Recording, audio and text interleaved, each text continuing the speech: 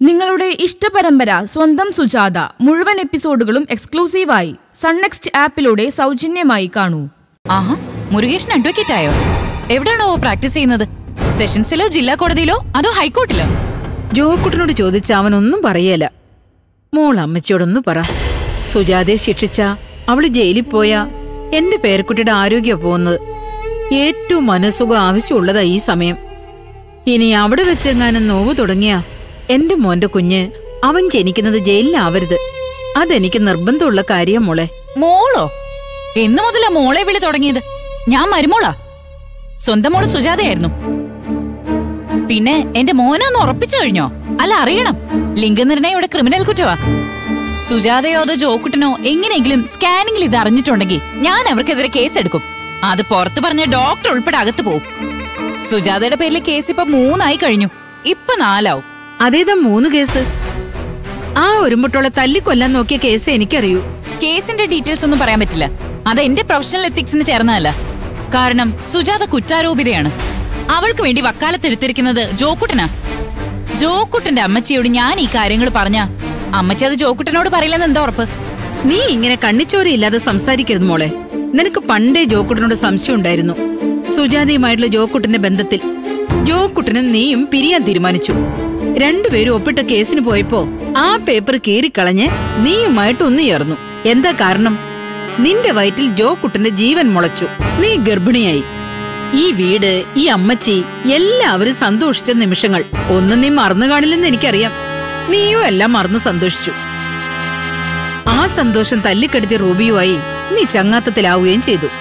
ഒരിക്കലും ഒരു അമ്മയാവാൻ കഴിയാതെ വന്നതിനുള്ള സാഹചര്യം വിധി കൊണ്ടുവന്നു.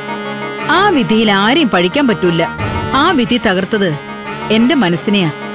മനോരോഗിയായ എന്റെ രോഗം മാറ്റാൻ എന്റെ മനസ്സൊന്ന് നേരെയാക്കാൻ ചികിത്സ ഒരു കുഞ്ഞിനെ വേണമെന്നായിരുന്നു.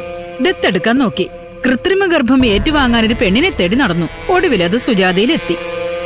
സുജാത അത് പറഞ്ഞ് സമ്മതിപ്പിക്കാൻ എത്ര പാടുപെട്ടെന്നറിയാവോ? ഒന്ന് നിർത്തതള്ളേ നിങ്ങളുടെ ഒരു കഥാപ്രസംഗം. എനിക്ക് വേറെ പണിയുണ്ട്.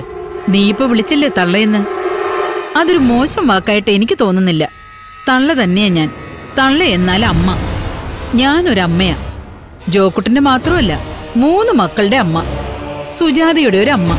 ഒരു തള്ളയാവാൻ വേണ്ടി സ്വന്തം ജീവിതം പോലും കളഞ്ഞവളാ സുജാത. ഇപ്പൊ അവൾക്ക് ഭർത്താവുണ്ട് കുടുംബമുണ്ട് നിനക്ക് ആ കുടുംബമില്ലാത്തതും കുട്ടികളില്ലാത്തതും. നിനക്ക് വളർത്താൻ ഒരു കുഞ്ഞു വേണം. താലോലിക്കാനും ഓമനിക്കാനും. അത് പിച്ച വെച്ച് നടക്കുന്നത് കണ്ടിട്ട് അമ്മയെന്നൊരു വിളി കേൾക്കാൻ. നിങ്ങളിപ്പോ എന്നെ ഇവിടെ പിടിച്ചു നിർത്തി പറഞ്ഞതൊക്കെ കുറ്റകരവാ. കേസ് എടുക്കാവുന്ന കുറ്റം. ഒരു ഉയർന്ന പോലീസുകാരുടെ ഡ്യൂട്ടി തടസ്സപ്പെടുത്തിയതിന് എനിക്കിപ്പോ നിങ്ങൾ ഈസി ആയിട്ട് അകത്താക്കാം. കാണണം നിങ്ങക്ക്. കാണണം. എനിക്ക് കാണണം.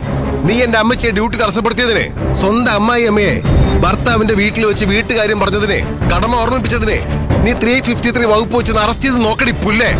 പത്ത് മാസം നിന്റെ ഗർഭപാത്രത്തിൽ തടഞ്ഞു വെച്ച നിന്റെ ഉമ്മയില്ലേ? അവരെ പോയി അത് അറസ്റ്റ് ചെയ്യടി. യൂണിഫോം ഇട്ട് ഓൺ ഡ്യൂട്ടിയിൽ തടസ്സം ഉണ്ടാക്കിയാലല്ലേ I P C three five three നിലനിൽക്കുള്ളൂ. നീ ഇപ്പൊ സിവിൽ ഡ്രസ്സിലല്ലേ ഞാൻ മഫ്തിയിലെ ഡ്യൂട്ടിക്ക് നിൽക്ക അത് വിട്. എന്റെ അമ്മച്ചിക്ക് നേരെ വിരൽ ചൂണ്ടിയതിനെ തള്ള എന്ന് വിളിച്ച് ആക്ഷേപിച്ചതിനെ നിനക്ക് വകുപ്പുകളുടെ എണ്ണം കൂട്ടാൻ കൂടിയായിട്ട് ഇതുകൂടി ഇരിക്കട്ടെ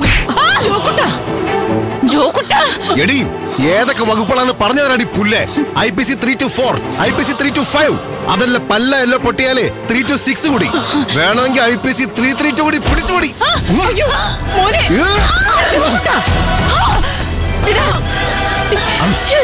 അമ്മച്ചി. വേണ്ട. പറയുന്ന കേക്ക്. വിടാ അമ്മച്ചി.